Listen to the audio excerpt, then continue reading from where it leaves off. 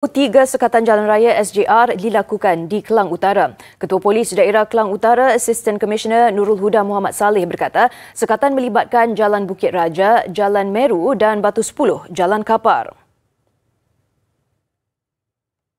Kekuatan daripada PDRM yang terlibat dengan PKPB mulai pada 14 hingga 27 hari bulan melibatkan uh, seramai 150 orang pegawai dan anggota PDRM dan 28 orang ATM dan seramai 18 orang daripada rela.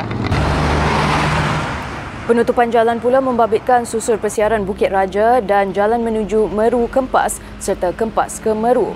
Katanya sepanjang tempoh Perintah Kawalan Pergerakan Pemulihan PKPP pada 1 Oktober hingga 13 Oktober lalu, pihaknya telah mengeluarkan 171 kompaun kerana gagal mematuhi prosedur operasi standard SOP.